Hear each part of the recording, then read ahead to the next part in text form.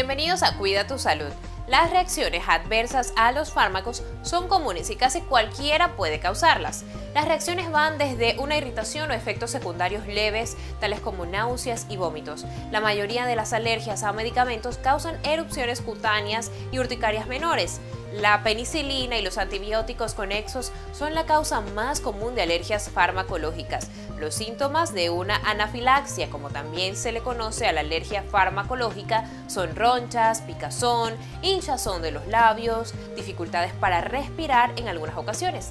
Si sospecha que está afectado por un medicamento, lo más recomendable es que visite a un médico. Esto fue todo en Cuida tu Salud.